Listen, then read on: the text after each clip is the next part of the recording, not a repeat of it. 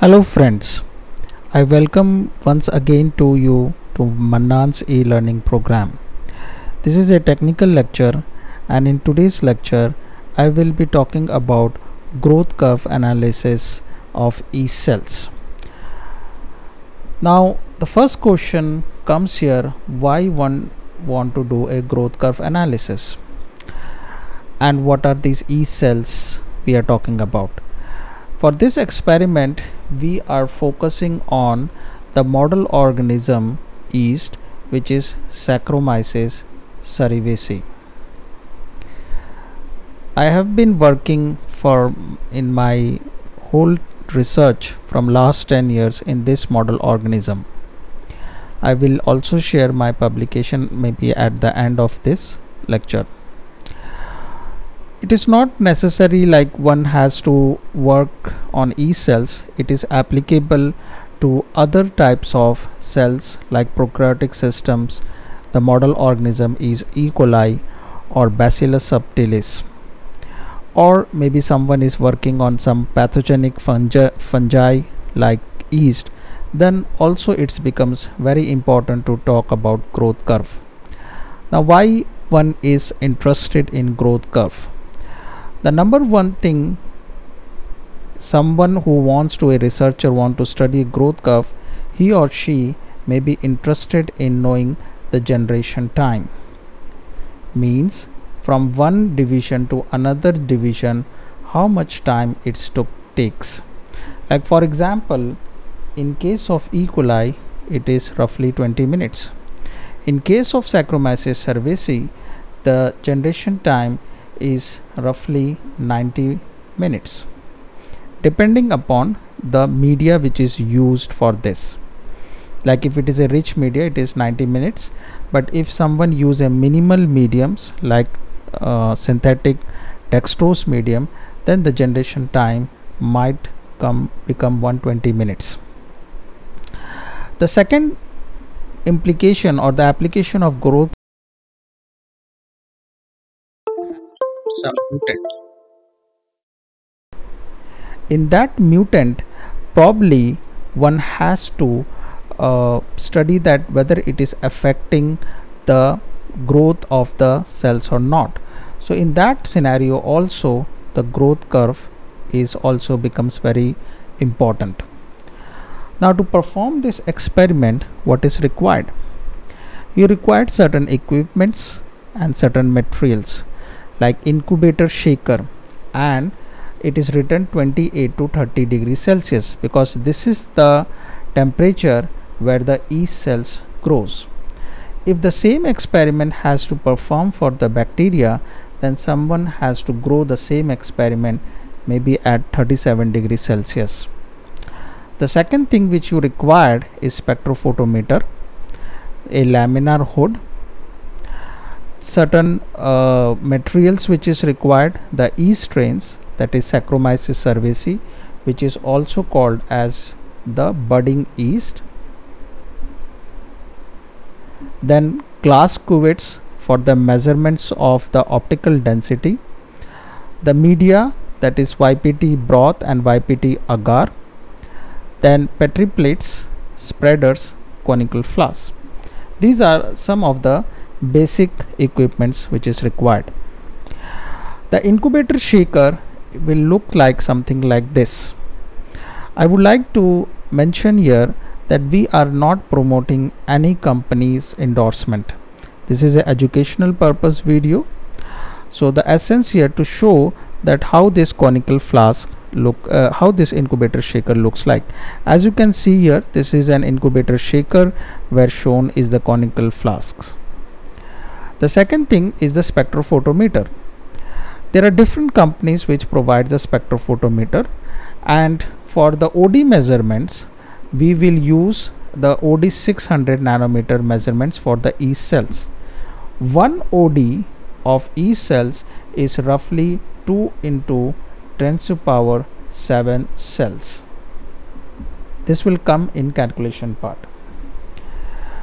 The second which is required is laminar hood as you can see here.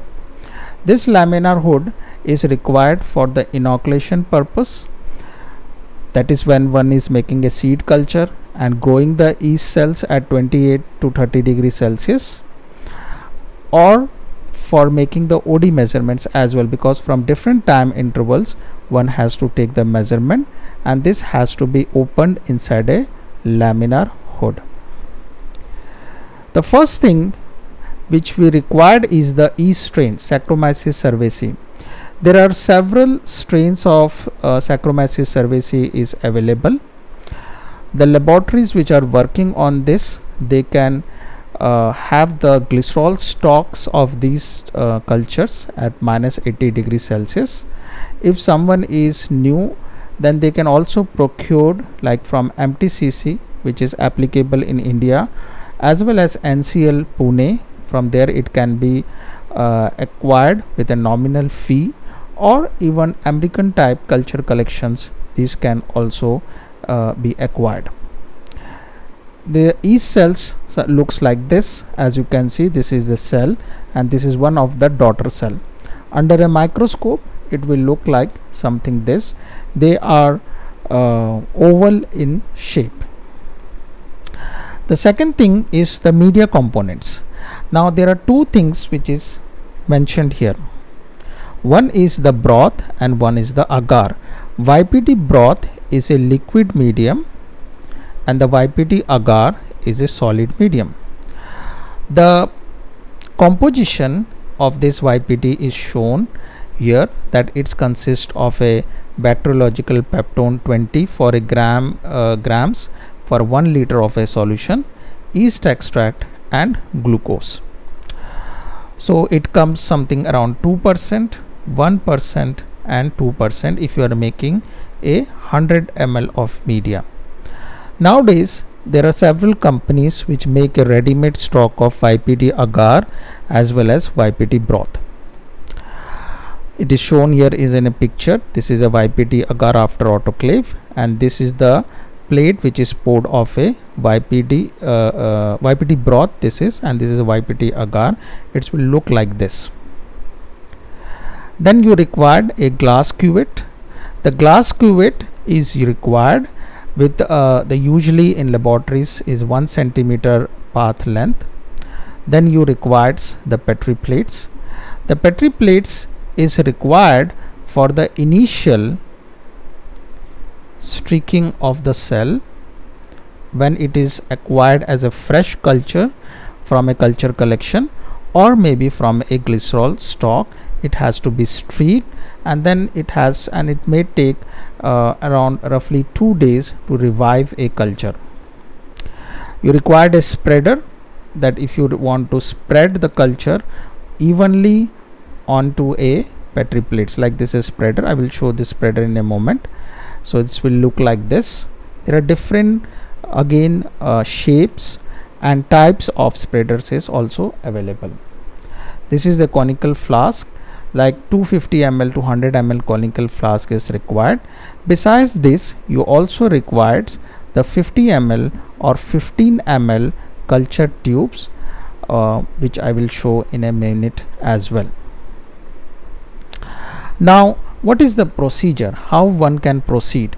The first step is to revive the culture if you are taking it from a already stock solution. Usually most of the laboratories they keep their bacteria or the yeast cells at minus 80 degrees Celsius with a 20 to 30 percent glycerol stock solution. And they can be kept there for years maybe two to three years they, they, they it has been found that everything seems fine that if you keep your cells in in a minus 80 degree celsius if you revive those strains it still remains alive. The first you will make the YPD plates. After the YPD plates you will streak your culture and then you incubate at 28 to 28 to 30 degrees Celsius. The optimum temperature again varies but usually people use 28 degrees Celsius. Allow it at to grow for 2 days. So this is a you can say preparatory work where you are reviving the strains or you are culturing the strain. The next step that is the day before say this is let's say this is your um, day is like say Monday. If you want to do this experiment then the one day before that is on Sunday you have to grow the cells at overnight. Now this overnight is kind of a misnomer that what does this overnight means. The overnight means the culture should be grown for 8 to 12 hours and it should be freshly grown it is not necessary that somebody has to do it on sunday.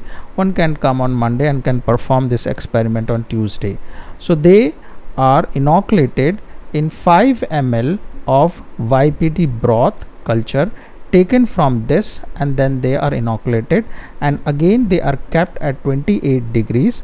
But at this time it has to be in shaking condition. Means in an orbital shaker it has to be kept and then allowed it to 8 to 12 hours the next day when you come the first thing one has to do is to take the OD measurements of these E cells. Now for this taking this measurement of the OD I will explain in a minute. After taking this OD one has to transfer to a fresh YPD broth medium this is the YPD broth medium as you can see in a conical flask. And then you also incubate at 28 degrees Celsius in a shaking condition for measurement of the growth. Now the comes like how you basically will measure or how you are going to note it down the first thing like if you have started this experiment at say 10 a.m. in the morning by coming to a lab at say 9 a.m. so by one hour this procedure will take like you will take out the culture take the OD measurement keep your things ready and then you inoculate it let's say at 10 a.m. the initial inoculum at T0 as you can see which I have mentioned some figures here is usually inoculated at 0.05 to 0.1 OD meaning that the starter culture which you have measured the OD and usually for a overnight grown culture usually it comes to 6 to 8 OD of the cells. As I said I will tell you in a minute that how uh, we it comes. Uh, just focus right now that we have to inoculate at T0 that is the inoculum which is uh, let's say it is a 100 ml of your YPD broth medium in a conical flask of say 250 ml or a 500 conical flask. This will be at T0 you measure again even after inoculating that what is the OD then after 2 hours then again measure the OD now if you have a starting culture for simplicity sake as t0 is 0.01 so after 2 hours okay and we are assuming that there will be certain lag phase for the growth of the cells you expect that it will be somewhere around 0.2 then at say uh, 4 hour or maybe uh, the technically it will be say 90 minutes as I said a generation time. This will be somewhere around 0.4 to 0.5 OD and it will go on like this. Okay? Now let me remove this thing and give you like how we take the initial OD measurement the initial OD measurement of a overnight grown culture since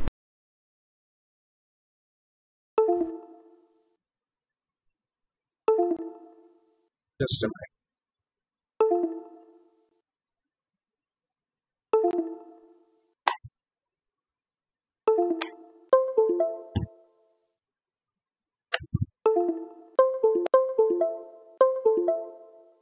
The OD of the cells uh, which is around like say uh, 5 or 6 or 6 or 8 whatever the OD it is depending upon your culture.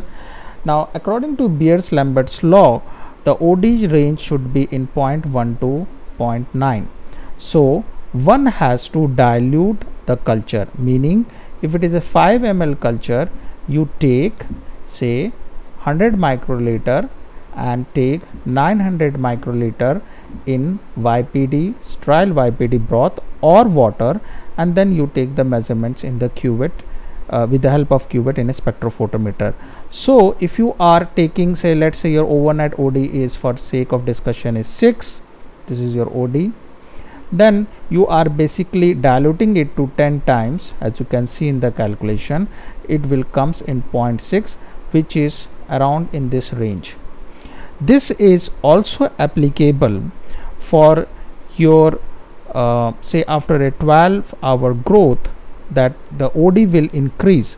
And if you see the OD which I will show in a moment then it the OD might reach to something above 24 OD or so. So now you cannot take directly take the measurements at 24 OD of the cells. Instead of that even if you dilute it to 10 times it will still 2.4 which is again in a violation of Beers-Lambert law. Then you probably have to uh, make a dilution of a 100 or a 50 times dilution. So this is a procedure and how you calculate uh, how you basically perform the experiment. Now this experiments can be performed depending upon one day or you can keep it for two days or you can keep it the same measurements at seven day intervals as well. Now it will something you will when you plot your measurement of the observation with the time point you will for initial you can say the phase it will look like this. And if you have done this experiment for a longer time maybe for a week time then you will find that your values is coming like this. Let me change the color code here that is there will be a lag phase okay? And after this lag phase which will be initial phase the cells will be growing exponentially.